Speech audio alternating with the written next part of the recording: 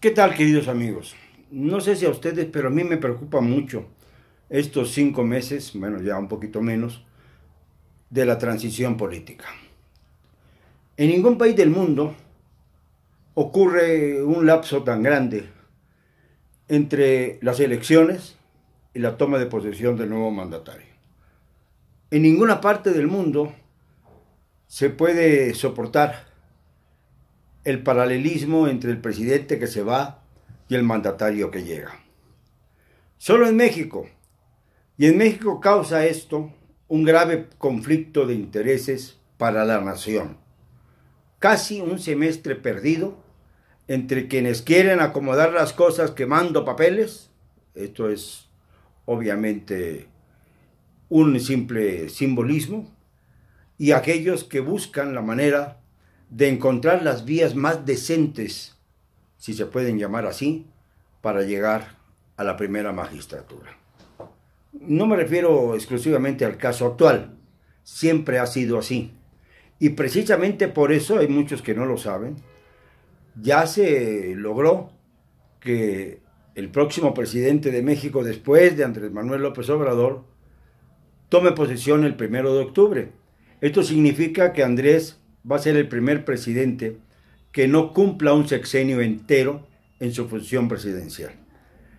Arrancará el primero de diciembre y terminará el 30 de septiembre. Cinco años y diez meses. Esto lo han divulgado poco, pero es un hecho ya incontrovertible. Lo hace o lo hizo el legislativo con el objeto de que precisamente no hubiera tanto tiempo entre un acontecimiento, la elección, y otro, la toma de protesta. Pero además hay algo muy grave. No existe en nuestra constitución, sobre todo en el artículo 84, que prevé la ausencia definitiva del presidente y los mecanismos a seguir para nombrar al presidente interino, al presidente provisional o al presidente sustituto, no hay ningún mecanismo que nos indique qué hacer en caso de que faltara el presidente electo o el candidato victorioso a la presidencia. Por eso estos cinco meses son de mayor riesgo que los demás, los que sigan después del primero de diciembre. Ya ha habido un caso en México, el caso del asesinato del presidente Álvaro Obregón en 1928. Ya era presidente electo estaba cerca de tomar posesión y fue asesinado. En ese momento se determinó, cuando el callismo, Plutarco Elías Calles era el jefe máximo de la revolución, y eh, designó de inmediato al secretario de gobernación, a quien fue secretario de gobernación hasta el último día del periodo presidencial de Calles, es decir, hasta el 30 de noviembre de 1928, a don Emilio Portes Gil como presidente interino, función en la que duró dos años, lo suficientes y bastante largos, para convocar a nuevas elecciones. Esto fue más bien una medida de tipo presidencialista, no legal, puesto que no estaba previsto en la Constitución. Obviamente, en el caso de Luis Donaldo Colosio, ahí no había más movimiento que hacer que el de designar a otro candidato, como ocurrió en el caso de Ernesto Cedillo, puesto que aún no se celebraban elecciones y Colosio solo tenía la condición de candidato de un partido. Esto es diferente a la situación que estamos planteando ahora. Me parece un absurdo esperar cinco meses en esta incertidumbre, porque ya ven ustedes que ya Andrés Manuel le están exigiendo resultados cuando no ha tomado posesión.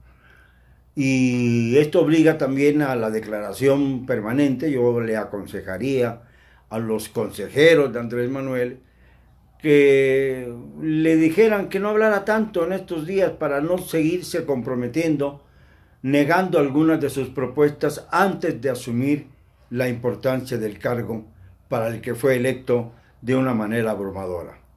Y por eso también se ha retrasado algo que no entiendo muy bien, la entrega de la constancia de mayoría que Andrés Manuel debió recibir desde el domingo pasado.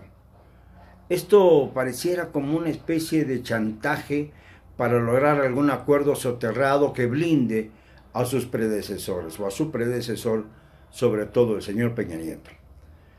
Yo creo que ya es hora de que el INE despierte, eh, se le prenda el pajarito a ese racista de Lorenzo Córdoba Vianelo y culmine con el proceso en el que el INE tiene todavía la mayor importancia, es decir, entregando la constancia de mayoría al señor López Obrador en espera de que el Tribunal Electoral del Poder Judicial Federal desahogue todas las posibles impugnaciones y determine por ahí del 6 de septiembre la calidad de presidente electo a favor de el señor López Obrador, futuro presidente, sin duda alguna.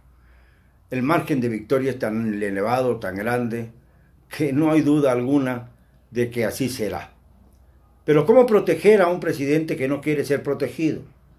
¿Cómo proteger a un futuro mandatario que se niega a tener guardias presidenciales cuando ni siquiera, ni siquiera hay un método para sustituir al presidente electo, llegado el caso que no lo decíamos de una ausencia definitiva. Andrés tiene una responsabilidad mayor que consigo mismo, la responsabilidad de dirigir a un país y la responsabilidad de ser el líder de millones de mexicanos. Se lo debe a esos millones de mexicanos. No es un problema nada más de arrogancia, decir a mí no me va a pasar nada, me va a proteger el pueblo mexicano.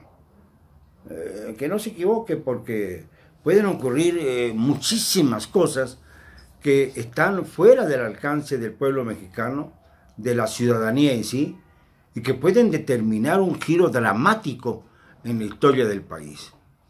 Andrés está fuerte a pesar de que arrastra su enfermedad cardíaca, a pesar de que tiene un cardiólogo cerca, a pesar de tantas cosas. Ha dado muestras de entereza, firmeza y de ganas de trabajar.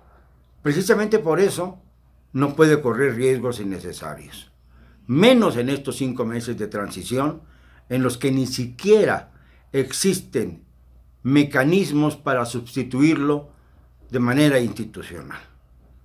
Esto es mm, bastante grave, es bastante serio y debe legislarse ya al respecto para evitar en el futuro que pueda ocurrir una tragedia que no tenga ninguna otra finalidad más que interrumpir el curso de la historia. Digámoslo, con cero cobardía.